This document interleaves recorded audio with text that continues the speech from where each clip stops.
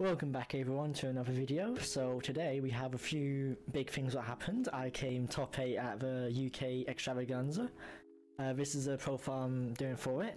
As well as a thank you to everyone for subscribing. I've now hit 200 and still climbing today. So it warms my heart. Thank you for everyone for subscribing and hopefully I can be entertaining enough for you to stick around I guess.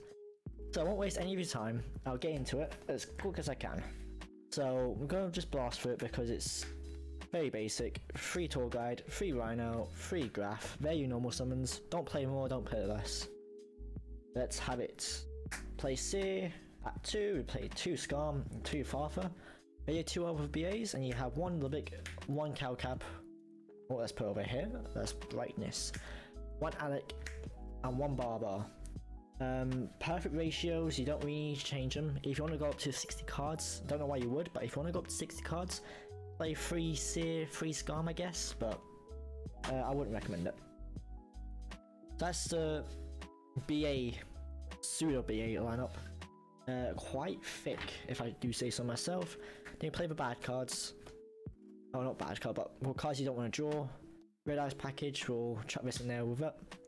Uh, Dragoon is a beast, and he just wins games by himself. Batjack is very strong. He uh, can turn into a trap as well as follow-up plays. If you see a tour guide in the top three, just stack it, get a trap, and then normal summon tour guide and watch your opponent cry.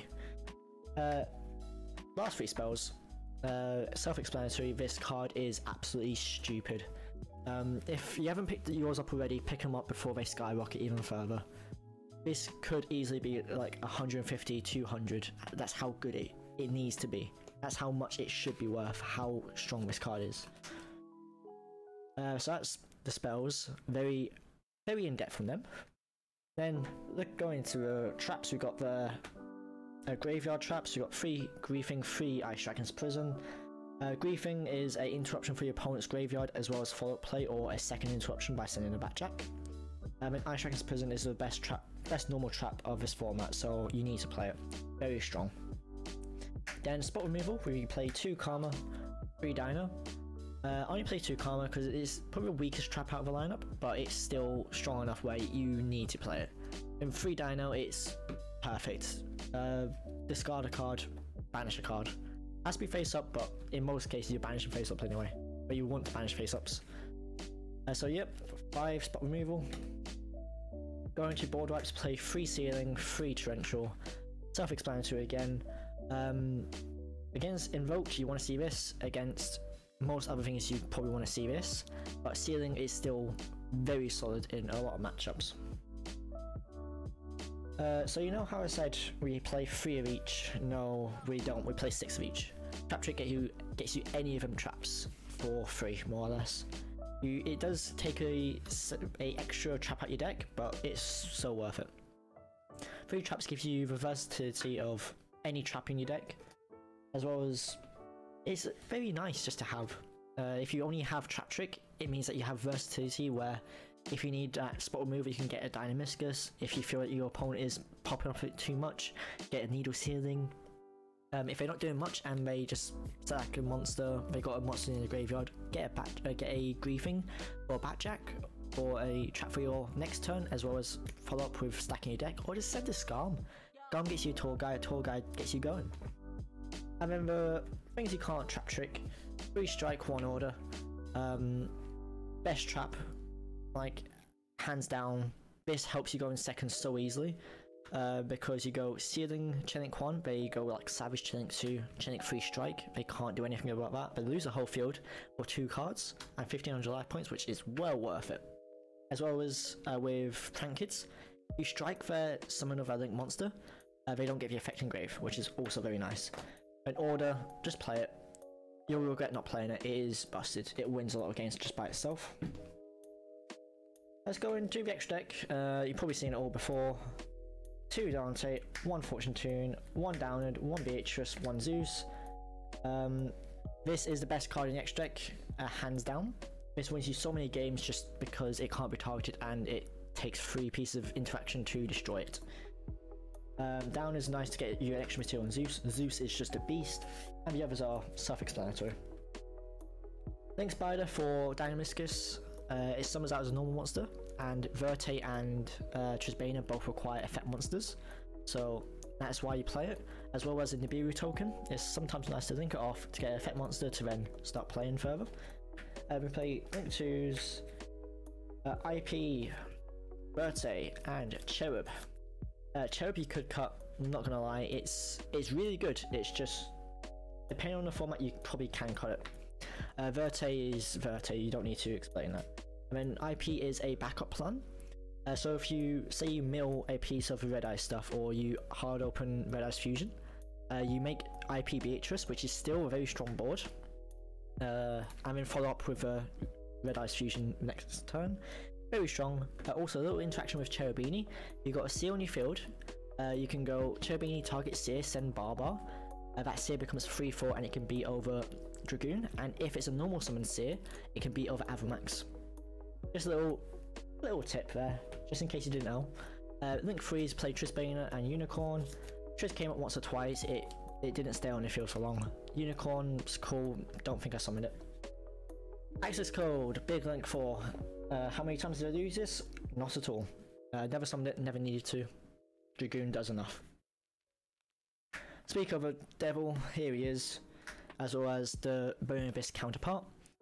Uh, Dragoon is way too broken. It's it's a negate which is meant to go one for one, but in this, in this deck you go 0.5, maybe just a plus one, uh, because all your discards are 95% of the time they're going to get more advantage. Get a Graff, can then get a Alich to negate a card in their field, get a Farfa to banish a card in their field, get a Scarm which can search your tour guide in your in phase, get a Cir which can get you a Graff. I don't, a Cir can get you a Dante back from your grave this this deck is so solely just advantage based, as well as if you do end up summoning this guy, he does the same thing. requires just Burning Abyss, but it's not in the gate. It's just keep on drawing cards.